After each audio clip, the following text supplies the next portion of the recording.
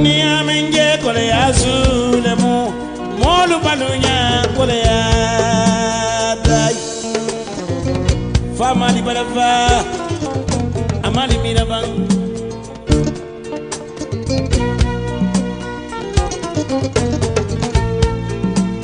duniya koleya be dula be le do fisata nyodi menna kole do ya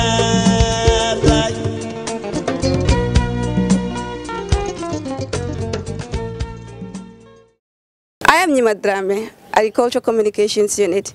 We are currently at the Agricultural Research Station in Sapu Central River Region South, witnessing the handing over ceremony of 1.244 tons of Orylux 6 and Nerica L19 from the National Agricultural Research Institute to the Rice Value Chain Transformation Project.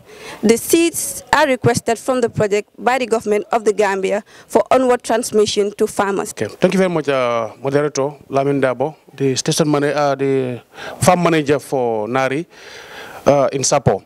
Assigned to do is to talk in general as to how Nari and then the project have been partnering. That is the RVCTP. Uh, I'm sure when the mic goes to the project team, Ladjor will uh, give some background to the project itself. That's not what I'm supposed to do.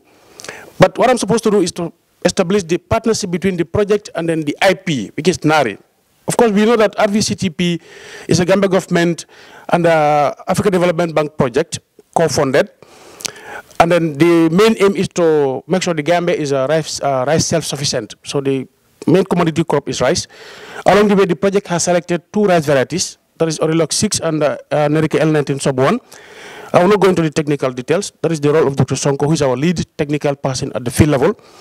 But then the Orylux 6, the project selects it because it is an aromatic variety. It is also short duration. And we know we are in the era of climate, uh, climate change. Nerica L19 sub 1 is also climate smart in the sense that it is adapted, adaptable to uh, submergence or, or flood, it's flood tolerant. These are the reasons why the project selected these two varieties. Now, coming to the partnership with NARI, when the project selected these two varieties, it, it was noticed that we need to establish what we call local info on these varieties, because these are new varieties. But also, we need to promote the varieties by putting them in demonstration plots, because that's also the first point of uh, uh, uh, di- diffusion of the variety to the communities. So NARI, in partnership with the project, set up two or three main activities. And then the first one is what we call local evaluation of the varieties, one. And then we have what we call the demonstration of the varieties, two. And then also we are doing what we call seed maintenance, which is also very important. Because new varieties we know as they go from season to season, they get mixed. Okay, and then the only way you can maintain the variety, uh, the variety, its purity, is to make sure there is what we call uh, seed maintenance or variety purity maintenance. And NARI is also handling that for the project. So what we're doing here today, like I said, Dr. Sonko will go into the technical details, how everything was produced. But what we are doing here today is handing over some produce from our activities, from these two activities that I just, I just mentioned, which is the local evaluation and then also the, the demo. The, the, the seeds we are witnessing here, I I was told is uh, 1.244 tons. That's what we are handing over to the project. Our understanding is that the government of the Gambia has taxed the RVCTP to mobilize a quantity of seeds. I'm not sure, but I think it's around 10 tons from within their own means to be supplied to farmers. So the project naturally has to fall back to its natural partners, which NARI is among, NSS and then DOA and then the rest of us. This is our contribution to that pool of seed. Uh, for your information, this is what we are able to contribute to the project for what the Gambia government is asking from you. So My name is uh, Dr. Ibrahima Sonko. I'm the director for crop research. So the reason why I'm giving this tax because the, this commodity crop is one of the crops that is part of the, the, the, the directorate, uh, cereals. For that maybe in the case is even rice. So it's not easy to pick a handful of seed to sow and come up with this uh, uh, uh, amount of uh, quantity of seed that we are uh, handing over today to the project. It's not easy because from seed to seed, it takes a lot of processes. So for NARI, we are tasked to evaluate these two varieties, Nerica L19 sub 1 and Orylux 6. So normally in research you have a procedure that you normally follow. So at our end uh, in Nari, so when we are given a, a new seed, there are some different level of uh, activity we undergo. But for this particular project, we did not follow the normal scientific procedure. So we take a shortcut so to produce these uh, seeds. So the activities that we put in place to evaluate these varieties is in three folds. One is the local evaluation, which is done by the, uh, the research and also extension. So which was led by NARI and also extension. And then we have another activity called uh, local evaluation at farmer manage, where we supply the farmers with inputs, but we don't interfere in any of the activities. We just supply them with the inputs, that's the seed. The other one is demonstration, where we showcase our technology. Because when you are helping your indigenous farmers, as a researcher, what is expected from you is like you have to come up with the technologies because there are a lot of evolution along the way when you are doing production. Things start changing because you are dealing with the environment. So these are the three different uh, folds that we use to evaluate these varieties. So today what we are presenting is the local evaluation at research and extension level. So we have uh, two sets of uh, seeds here. The one in front here is from uh, WASU, so which was also managed by research and extension. The other one behind is from SAPU here, our end here. So we have different quantities. One may, may wonder why, because we are using different land size. So uh, of course, when you are using different land size, of course the expectations will be, the yield will not be the same. So this is why from behind here, you can see those ones are the, we have the higher quantity there. So I wouldn't want to go into the scientific details of each of these uh, activities that we, we undergo, but to just, uh, to just summarize it. So this is what we, we did to come up with these uh, varieties. I am Fatmata Jamme, Deputy Director, Sapu Agricultural Directorate. I'm deputizing my director, Mfama Tarawale. I am to briefly explain the linkage between extension and research. Extension, as, you see, as the word signifies extension, X is a linkage between research and the farmers. We link the farmers and the research. We are like between the two, two components. Research, they, they do, they, they evaluate. Most of the time, they, uh, the farmers produce seeds, they take it to research stations for them to test the quality of the seeds, and they go through so many processes, like from seed to seed. Um, for example, like NSS, they, they will embark on uh, laboratory analysis together with NARI. They test whether the seed is viable, and then if the seed is viable, that's when they will like dispose to farmers with the uh, collaboration with extension. And sometimes they do also have plots where they will uh, they work, they sow the seeds, they check it for themselves because if you give seeds to farmers, you too need to have a, a area where you have demonstrate to see whether the farmers are following your advice.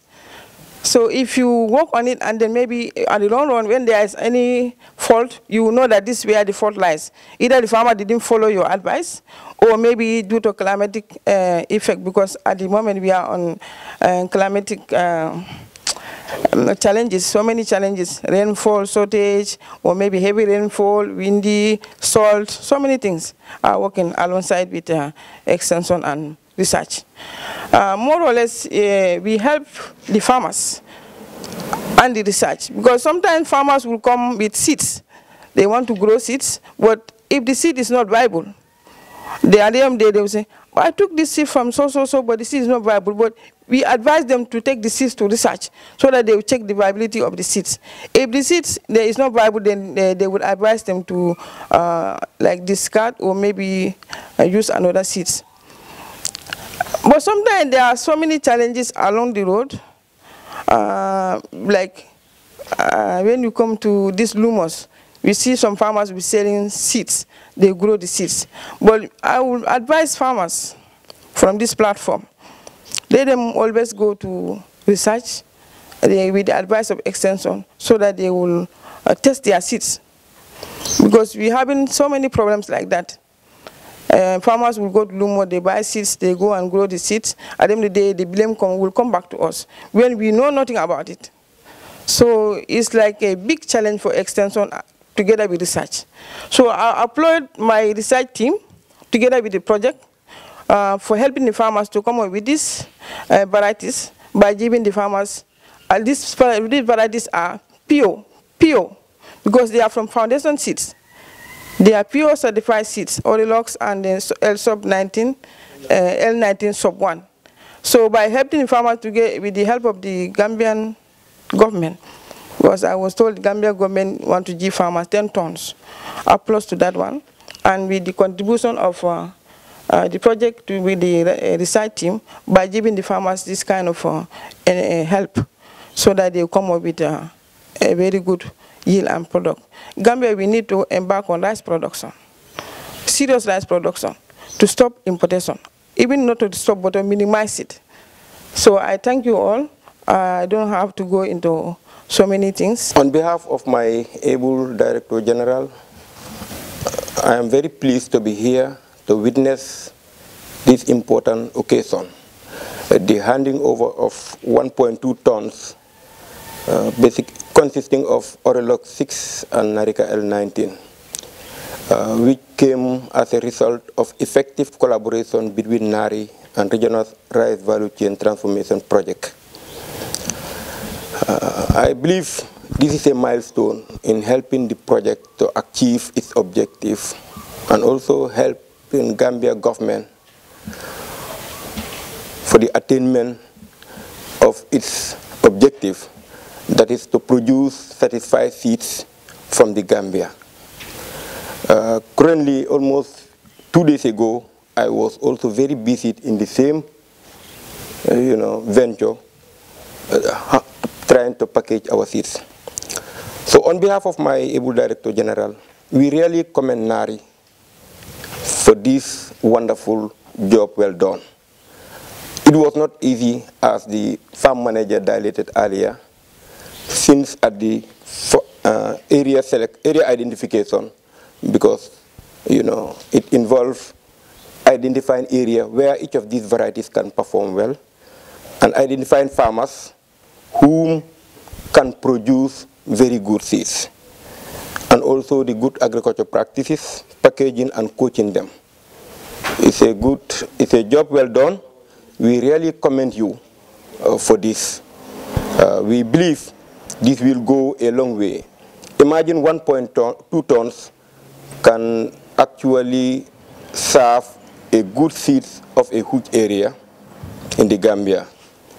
We believe if the same trend continue, for so we will not source seeds from outside the Gambia, but all the seeds we need will be able to locally produce internally.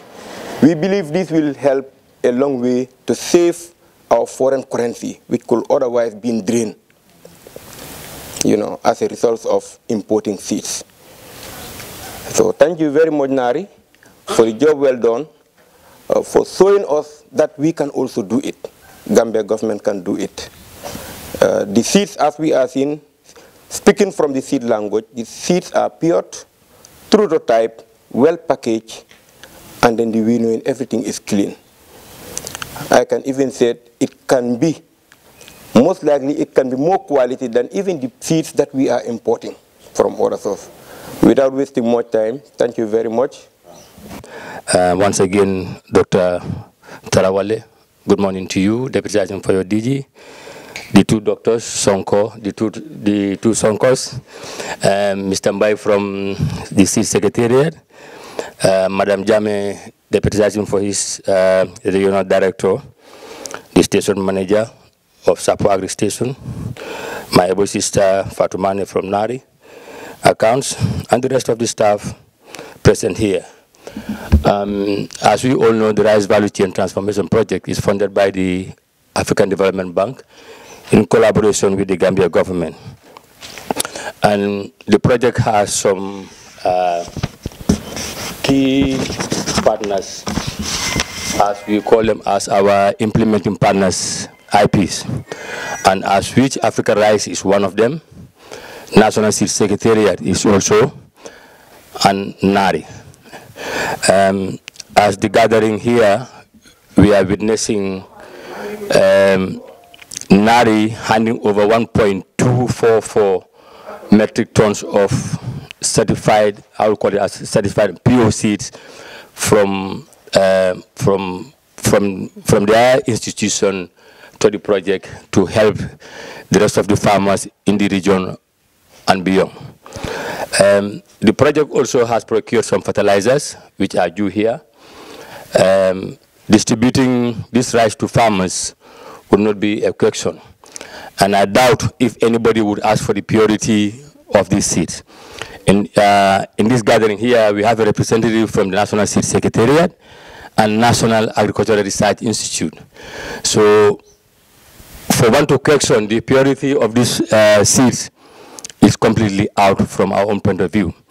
And on behalf of my project director, we saying thank you to Nari once more again uh, for a job well done. And we hope to receive more from you.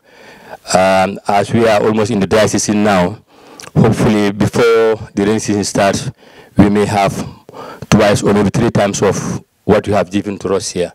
Once again, we send a big thank you to Nari for a job well done. Uh, thank you so much. Yes. Okay. Um, Mr. Lakajor Yes. Jamme, Yes. Nari is gratefully glad to hand over this quantity of seed which is produced by our SAPU team to the Rice Value Chain Transformation Project with gratitude. Thank you. Thank you. Thank you very much, Mr. Moderator Lamin. I would also like to join my colleagues to thank um, the SAPU team uh, whose efforts made it possible for all of us to be gathered here today. And I would also like to thank Dr. Ibrahima Sonko, the, pro, the Director of Crop Research, Dr. Lamin B. Sonko, the focal person, at the same time, the Director of Cropping System and Agroforestry, Madam Jamme, representing the Regional Agricultural Directorate, Madam Fatumane, our able accountant, Mr. Job, technician, Babakar Jiba, our OIC SAPU, Line Bay, representing the DG of NSS, Lakjor, representing the PD, Mr. Fatajo Lamin, and then uh, Musa Sise, our engineer in SAPU, Jaja, another technician who is directly working under Dr. Sonko Ibrahim, the media, I thank all of you for coming. I wish to extend fraternal greetings from NARI headquarters and the SAPU team on the auspicious occasion of handing over of rice to RVCTP. Many of us recalled the early stages of this seeds production and then the idea behind producing these seeds. Ladies and gentlemen, it is my singular honor and privilege to present the closing first remarks in my capacity as the Deputy Director General of NARI and then the coordinating and implementing unit for the handover of this seat to Rice Value and Transformation Project. But more importantly, I am acting for the Director General, Dr. Demba B. Jallow, who regrettably couldn't be with, with us here due to an urgent official engagement that is happening currently today in Banjul. Those of us who are familiar with Dr. Jallow and this work, we bear testimony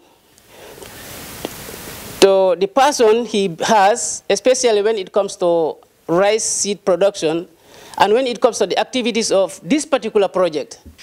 I could remember there was a time when we had uh, a meeting in the conference room, and then we were trying to identify a focal person for this particular project.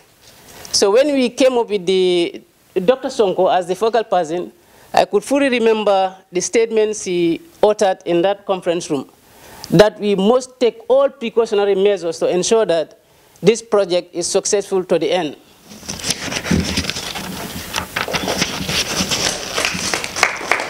And particularly when it comes to the quality of seeds, he does not compromise it. So he has person and suggests that must be missing. I am suggesting that I'm sure he must be missing a very important aspect of a baby that is very dear to his heart. And at the highest level of leadership in Nari, we have recognized that quality seeds play a crucial role in building food and nutrition security. Therefore, the serious inequalities and challenges which have been long plagued with the seed sectors constitute a huge barrier to the ministry's general objective in acquiring food self-sufficiency in the sector. NARI was requested by RVCTP, knowing NARI's expertise in this particular area, to lead in the development and effective and sustainable seed service that would form a pathway for the achievement of quality food and nutrition security. The overall goal is to contribute to increased food and nutrition security in poverty alleviation. Overall, have a total, and then today we are handing over a total of 1.244 tons, composed of two varieties, as alluded by the previous speakers, which are Nerica L19 SOP 1 and the Orylux 6. To conclude, since we have not that much time, ladies and gentlemen, let me recognize that a wide range of contributions and efforts by NARI, especially the SAPU team, have currently converged to make this period an era for seed development in the RCTV intervention sites. Just yesterday, we were in the Northern Bank busy selecting new sites where we intend to replicate what was done in Sapu and in Wasu.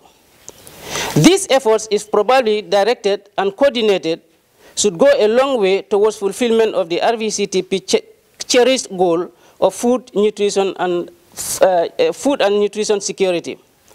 What NARI brings to these efforts are the important features of holistic, integrated approach, complementarity, collaboration, consultation, as well as advocacy and commitment.